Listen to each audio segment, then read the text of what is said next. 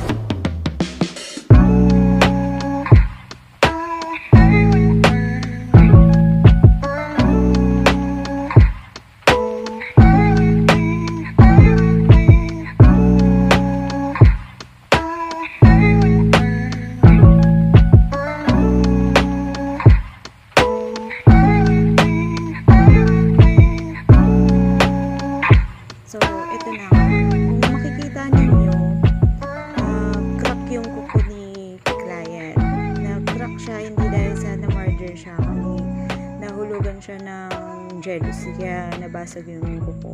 So, hindi naman siya damaged dahil may bacteria or else na crack lang talaga yung kuko niya. So, kailangan natin agapan kasi mahirap na once na kung sumabit man yan sa kumot o kung saan, baka mahatak, masama pati laman. So, magiging malaking problema lalo ni client. So, sa gagawin natin, maagapan natin maalis yung sumasabit na part sa kuko ni client. So, kung makikita ninyo, malaki yung pagkakakrak niya. So, kailangan natin tanggalin hanggang sagad para maiwasan yung sumasabit na part.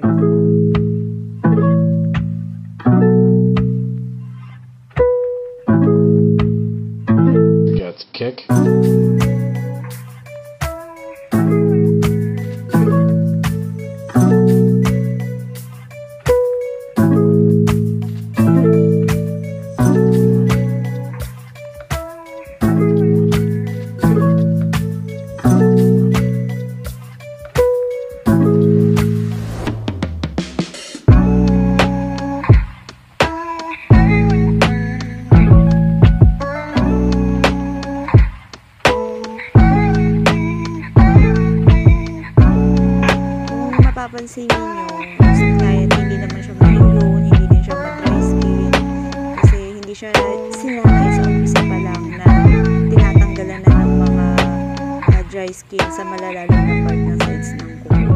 So, cleaning lang talaga siya. Tatanggalin lang natin yung mga dumikit na dumi. Pero aside from that, hindi natin siya kailangan pakagatan ng malaking kuko sa gilid. Kasi pwede yun mag-cause na lalong mas kumapal saka lumalim yung mga sidings ng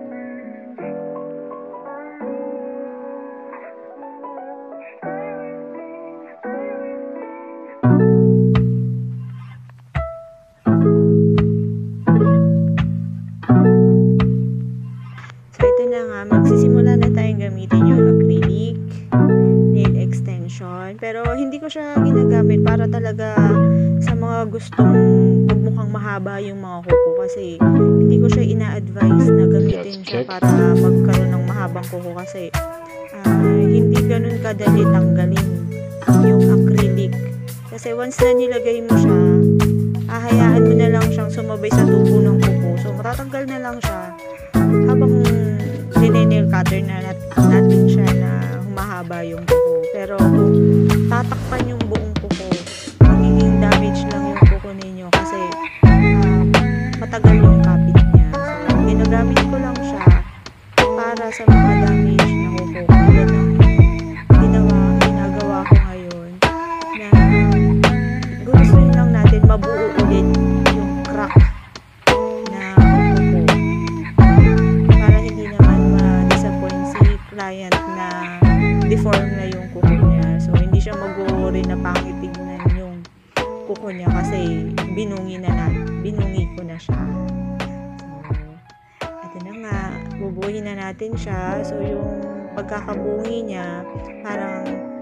tatapalan lang natin siya.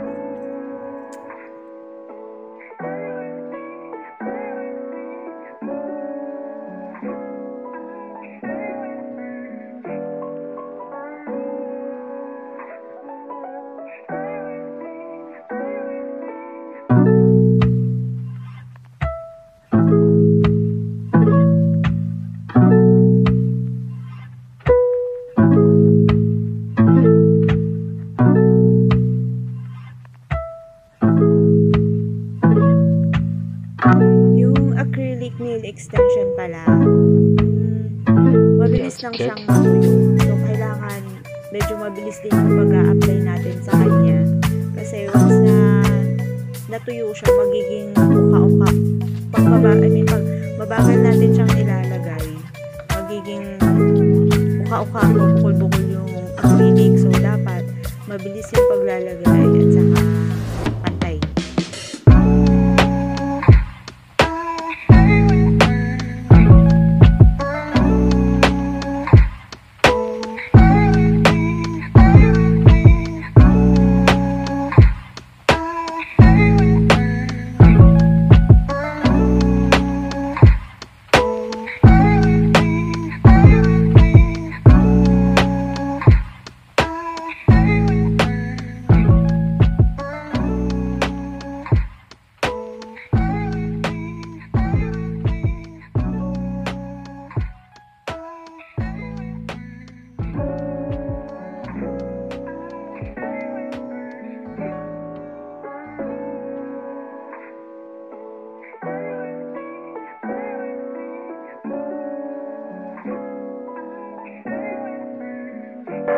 ginagawa natin ngayon, ginagawa ko ngayon, tinatanggal natin yung excess na acrylic na nakausli. So, para magmukha lang siyang nat- natural na kuko, tatanggalin natin yung mga matitigas na part na nakausli.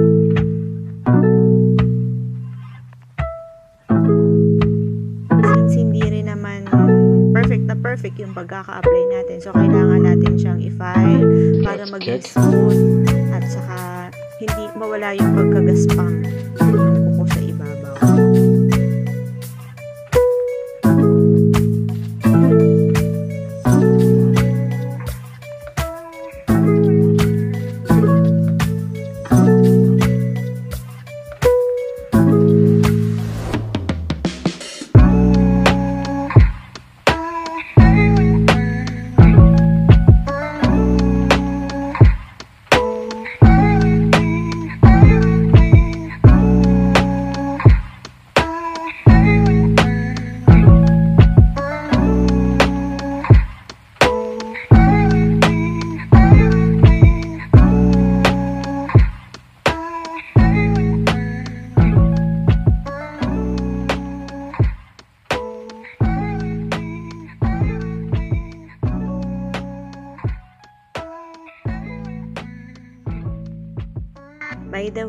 Lahat ng tools na ginagamit natin, nipper, pusher, nail cutter, lahat po yan, ina-alcohol before and after every client. And then yung brush natin, kailangan din pinapalitan para hindi nakakahiya sa mga client.